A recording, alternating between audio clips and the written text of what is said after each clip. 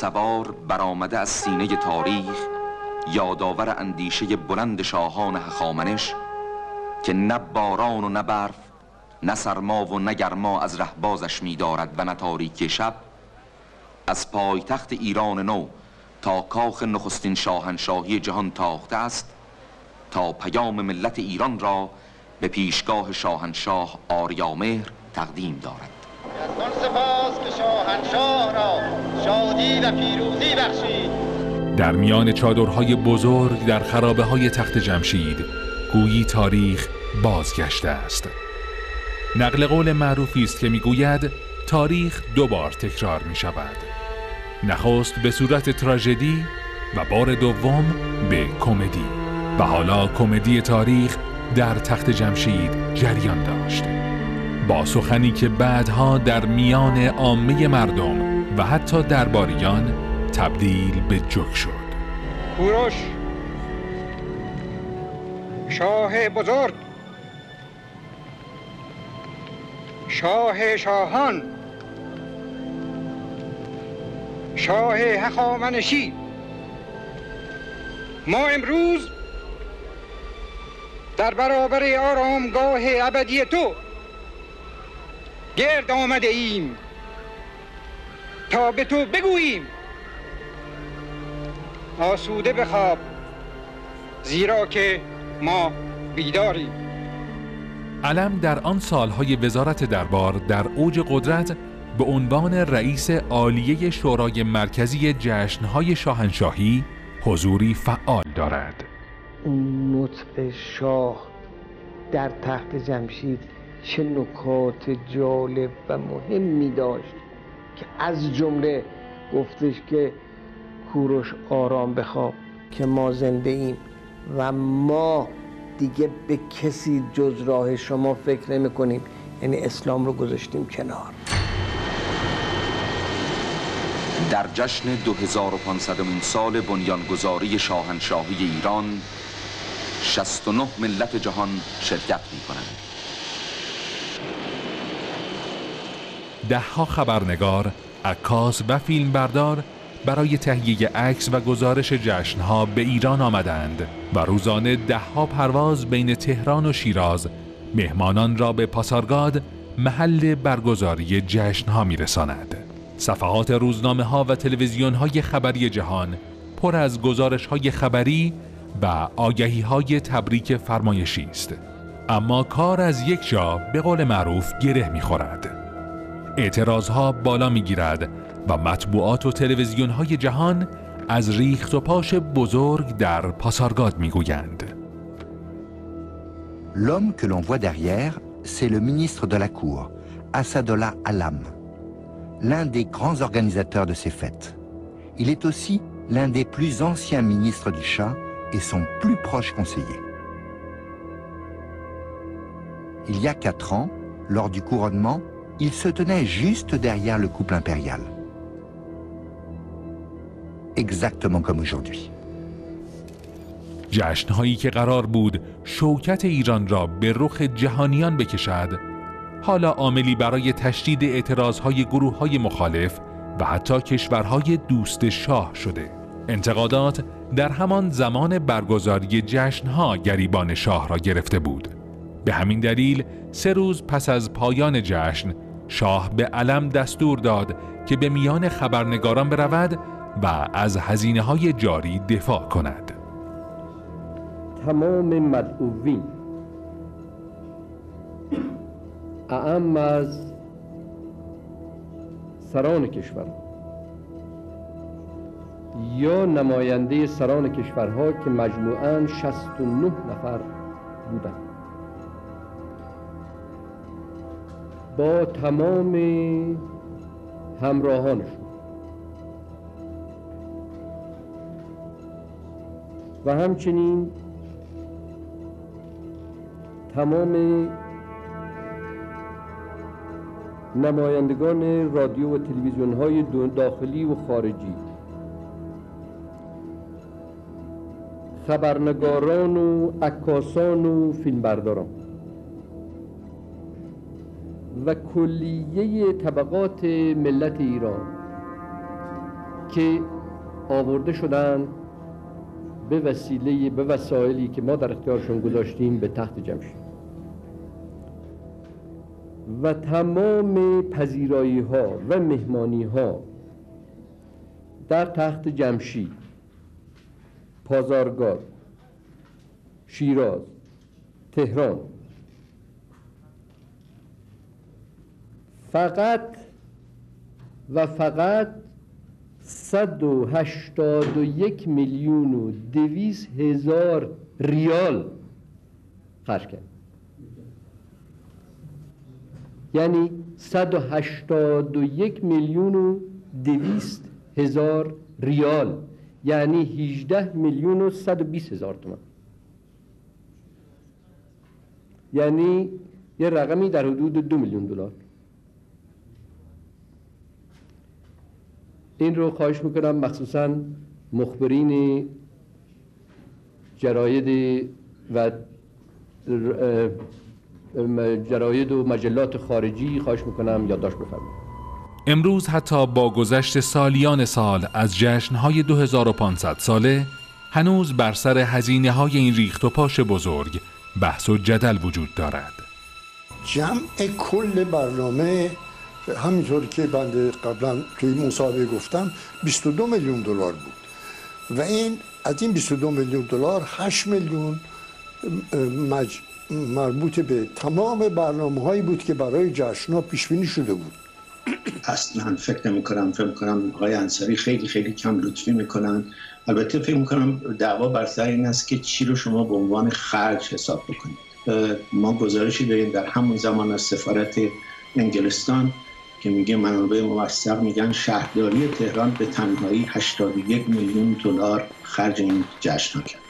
شما گزارش دیگری دارید از CIA در همون زمان که میگه مقاطع کارهانی که فرودگاه شیراز رو برای اینکه هواپیماهای سنگین رو بتونه پذیرا بشه در فرصت بسیار اندکی با چندین برابر اونچه که قاعدتا بایسته می‌گرفتن. اونها هم به حق می‌گرفتن چون بهشون گفتودن این رو باید در ظرف 6 ماه درست بکنید. چندین ده میلیون دلار دریافت کردن. 250 تا اینها ماشین ضد گله خریدن که اگر حرف آقای زاهدی رو باور کنید در واقع ضد گلوله هم نبود دلار سلا حساب کرده بودن. این بحث بینه که شما چه چیز رو به عنوان خرج این مهمانی حساب بکنید خرج این مهمانی پول ساواک هست. خرج اون مهمانی پول زندان است که به گفته اردشیر زاهدی گزارشی که در اون زمان برای شاه نوشته گرفتید درست کردید. برای اینکه مخالفین رو جمع بکنید بگذارید اینها. بذارید در اونجا برای اینکه در اون دوران اینها قصد خرابکاری داشتن. در مورد رابطه ما با چین همانطور که اطلاع دارید ما اخیرا با جمهوری خلق چین رابطه سیاسی برقرار کردیم. این مملکتی است که ما با آن دارای یکی از قدیمی ترین روابط تاریخی و اقتصادی در تیر تاریخ جهان هستیم. علم در سالهای وزارت دربار به مرد درسایه و قدرتمند ایران تبدیل شده بود. بسیاری از رجال پهلوی قبل از اینکه شاه را ببینند وزیر دربار را ملاقات می کنند و یا پس از این دیدار با شخص اول مملکت به دیدار جناب امیر هم می روند. او بیش از زمان نخست وزیری قدرت سیاسی یافته و در خلوت و جلوت شاهانه حضوری کاملا تأثیر گذار داشت. گویی وزارت دربار تبدیل به دولت در سایه ایران شده بود. در سالهایی که اسدالله خان وزیر دربار بود دربار اصلا دولت هم بود همه کارها با نظارت و مدیریت ایشون اجرا می‌شد. صبح ملاقات های منزل جانکاه بود. چون همه از طبقه لاشخور حاکمه طبقه خودم بودند و هر کس به منظور جلب منفعتی آمده بود. واقعا کسل شدن یعنی شما در خاطرات علم می‌بینید که تقریبا بسیاری از امور کشور رو شخصا علم دستورش از شام می‌گرفت ابلاغ می‌کرد. دقیقا دولت در سایه تعریفشه و همه می‌دونستن این موضوع. اگر پست می‌خواستن باید به علم مراجعه می‌کردن. اگر مشکلی داشتن در مملکت باید به علم مراجعه می‌کردن. اگر پیشنهادی برای شاه داشتن باید به علم میمدن می‌گفتن این پیشنهاد این نظر ماست اینو مثلا به شما منتقل کنید برای فلان مسئله. و همه هم می‌دونستن. اگر علم اراده بکنه مطلبی رو میشه. چون به شابگه شام نه نداره توش. خواهر کوچیک من خیلی بچه بود پنج 6 سالش بود. خیلی میامد پلوی ایشون و صحبت می‌کرد و اینا. بعد گفتش که شما به فکر من هستید اصلا؟ گفتش امشب من تلویزیون ایران داره با من مصاحبه می‌کنه. تو نگاه کنی هر دفعه که من گوشم و اینجوری کردم بدون که به فکر تو هم. این و همینطور هم شد. خواهر من نشست پای تلویزیون ما هم نشستیم. این گوششو اینطوری می‌کرد. ایشون عادتش بود. وقتی فکر می‌کرد گوششو اینطوری می‌کرد. یادش بود که چه کار می‌کنه؟ خواهر منو برای راضی کردن این یه فرد بچه ای بود دیگه. بر صورت بسیار راضی. خواهر من همیشه فکر می‌کرد که ایشون به فکرشه. بنابراین این کرکتر ایشون بود. با همه مردم همین کار رو می‌کرد علم از همان ابتدا با دولت منصور و پس از آن هویدا بنای مخالف خانی گذاشته بود ماجرا حتی از رقابت سیاسی هم فراتر رفته و بیشتر تقابل دو نگاه سیاسی در سپهر سیاست ایران بود که گاهی تنه به رقابت‌های خارجی در ایران نیز می‌زد. ما با دو گونه دو ژانر از سیاست مدارا مواجه هستیم در دوران حکومت پهلوی به خصوص در سالهای بین 42 تا 55 مثلا. رقابت شخصی و رقابت دو تا جریان از کارگزاران قدرتمند حاکمیت با هم دیگه است. یک دسته افرادی مثل علم هستند که روز به روز از صداشون کاسته میشه و در واقع علم جزو آخرین های اونا هست. کسانی که وفاداریشون و ارادتشون رو سرسپردگیشون رو به شاه ثابت کردند و به رخ کشیدند. در مقابل ما با یک ژانر دیگه جدیدی مواجه هستیم که خب سردمدارش یا نمادش حداقل امیر عباس هویداست که به حال در هر صورتی تابع قدرته و کوتاه میاد و زیر بار چیزایی که به نظرشون غلطه میره و به نظر امثال علم یا زاهدی اردشیر زاهدی پرنسیپ سیاسی ندارن اونا. به شدت مخالف روش ها و اسلوب مدیریتی سیاسی و اصلا فکر و منش شخصی هویدا بود با هم مخالف. با ایشون سخت مخالف بوده. ایشون رو برازنده اینجور سمتی نمی‌دونسته. بارها حتی به تندی و بدی یاد می‌کنه. با الفاظ بد هم یاد می‌کنه. یه روزی به شما میگه که تو هم تو خاطراتش هست. در سال 55 به شما میگه که این دولت که یه مش آمریکایی و فراماسون و باهایی و اینا هستن به همین عبارت میگه. میگه این دولت که یه مش فراماسون و باهایی و آمریکایی هستن آخر سلطنت شما رو به باد میدن. میگه دیگه نمی‌خوام ببینم. اصلا نمی‌خوام این مسائل و این اوضاع احوال رو ببینم. که همش می‌بینه به وضوح می‌بینه که داره به بیراه میره. امور از روال و مدارش خارج شده و استناد می‌کنه. آب هیرمند رو در مذاکرات شکست خوردیم در نفت شکست خوردیم. اون مسئله اینجوری شد اون مسئله. همه چیز به بنبست رسیده اما پادشاه مملکت توجه نداره. گفته که اینا دارن کاری می‌کنن مملکت به باد میره. که شاه برمیگرده میگه که یعنی یه روزی این مردم ما هم جز خائنین به این مملکت می‌دونن؟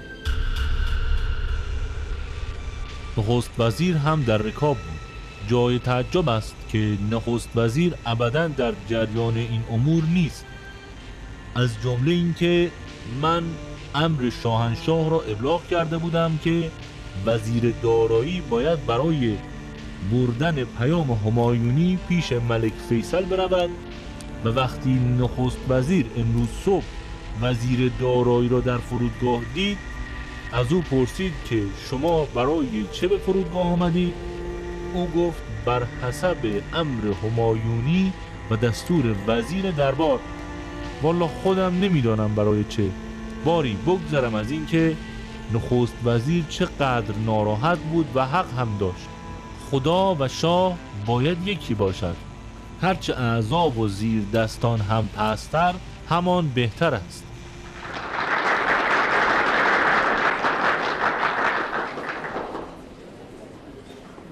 یک شنبه یازدهم اسفند ماه 1353 حال یادتون هست.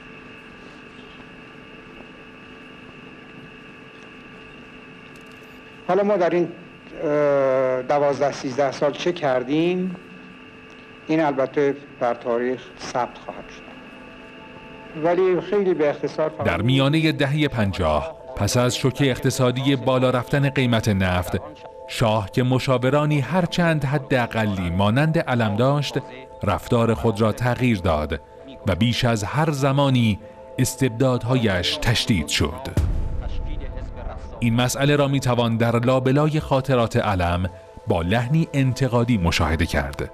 انتقاداتی گاه مشفقانه اما با چاشنی تعنه های تلخ.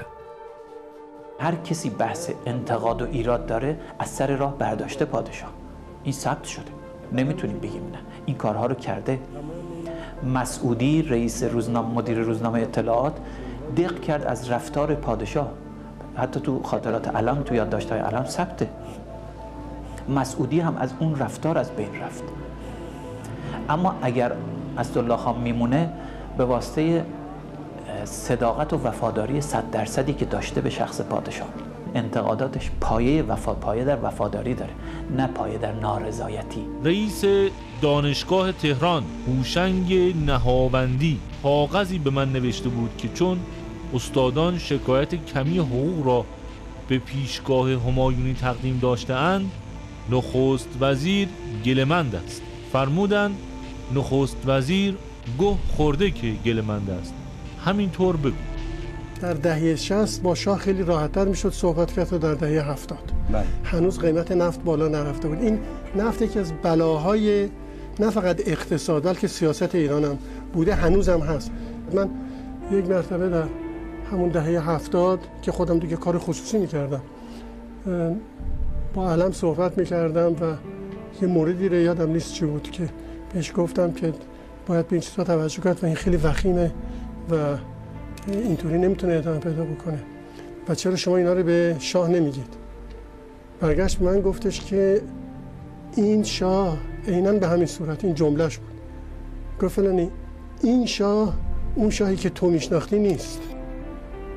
به عبارت دیگر خود علم هم با توجه به اینکه اونقدر به شاه نزدیک بود با توجه به اینکه از همه اونا خودش مسئولتر می‌دونست برای اینکه به شاه حقایق به اون صورتی که خودش بله. می‌دید بگه او هم دیگه به اون جرأت دهه 60 نداشت در یکی از داستانهایی که از علم نقل شده و خاطراتی که از شاه داشته اینه که میگه که وقتی داشته نامه ها رو میخونده در کنار ساحل نوشهر در کاخ نوشهر به شاه میگه که شما الان اگه نگاه کنید در دوردست یک کشتی بزرگ روس دیده میشه اتحاد جمهوری شوروی. شما نگران نیستید که من وقتی دارم اینا رو می‌خونم اینا شنود بکنن و جاسوسی بکنن از ما و چیزایی که من میگم؟ شما برمیگردیم میگه که مزخرفاتی که تو داری برای من می‌خونی که ارزش جاسوسی نداره. این چرت و پرتا و این حرفای مفت که به درد که جاسوسی نمی‌خوره و تو کسی نیستی بخوای کسی از جاسوسی بکنه. ببین بعد از عمری به اصطلاح مشاورت همچین تغییر نگاه و دگردیسی در دید شاه نسبت به نزدیکترین یارانش پیش بیاد از طرف دیگر بیماری سرطان علم که از چند سال پیش شروع شده بود به مراحل بحرانی رسید. شاه نیز بیمار است و برخی روایت ها می‌گوید که این مسئله از دید علم که نزدیکترین فرد به اوست پنهان نگه داشته شده است پایین آمدن قیمت نفت در اوج برنامه های بزرگ دولت بحران را دوچندان کرده همه اینها دست به دست می دهد تا دولت سیزده ساله هویدا سقوط کند. علم در این روزها در پاریس به سر می‌برد و مشغول درمان بیماریش است که با یک تماس تلفنی متوجه یک تغییر بزرگ می شود. او از وزارت دربار ازل شده و هویدا رقیب سنتیش به جای او نشسته. علم بیمار و دل شکسته در روزهایی که دیگر امیدی به زنده بودن ندارد آخرین نامه را برای شاه می نویسد. نامه از انقلابی که در پیش است می گوید. بیماری سرطانی که از سال پنجا یک پنجا و دو گریبان علم رو می‌گیره و در نتیجه هر سال چند بار مجبور میشه بره فرانسه برای تعویز خونش و برای معالجه سرطان. این در نهایت باعث میشه که سال پنجاب و پنج دیگه امکان کار کردن براش نیست میره و در فرانسه مدت ها میمونه. در بیرجند بود در زمستان 56 و واقعا دوری گرفته بود از مسائل. تنها بود تو باغ اکبریه است. روز به روز لاغرتر و نحیفتر و بدحالتر می‌شد. اینها دیگه وارد خاطرات شخصی خودم بشم نصف شبی از زمستان 56 تلفن خونه ما زنگ خونه پدری من. تلفن به صدا در اومد نصف شب. پدرم رفت تلفن رو جواب بده و صحبت هایی کرد و بعد صحبت ها گوشی ارتباط که قطع شد گفت های فرماندار تلفن زد. گفت حالش بده چه بکنیم؟ هواپیما از تهران درخواست کردیم بلند شده اما فرودگاه بیرجند. امکانات فرود و برخواست شبانه نداره. چه بکنیم؟ میگه راه حلش اینه اگه هواپیما تو آسمون از تهران بلند شده میاد که امیر رو ببره تنها راه برای نشستنش اینه که دو طرف باند فرودگاه سربازا وایستن. یکی یه چراغ زنبوری دستش. این مسیر باند مشخص بشه که هواپیما بتونه بشه. با این تدبیر پدرم هواپیما نشست اون شب و امیر رو برد. همه چیز در حال تغییر است کشور در التهاب قرار دارد وابستگی به غرب اصراف و حیف و میل ثروت عمومی توهم به سوی تمدن بزرگ توسعه آمرانه شتاب زده و از همه مهمتر رفتار از بالا به پایین خانواده سلطنتی و دولت با ملت حس تحقیر جمعی را در میان مردم به وجود آورده بود. در این میانه سیاست های ضد مذهبی رژیم با جشن هنر شیراز و تغییر تاریخ هجری شمسی به تاریخ شاهنشاهی رفته رفته تیر خلاصی بر پیکره رژیم پهلوی می‌زند. در همین زمان است که طوفان اعتراضهای عمومی برپا می شود و کسی هم نمی‌تواند جلوی طوفان پیش رو را بگیرد. در چنین شرایطی حتی علم نیز در کنار شاه نیست.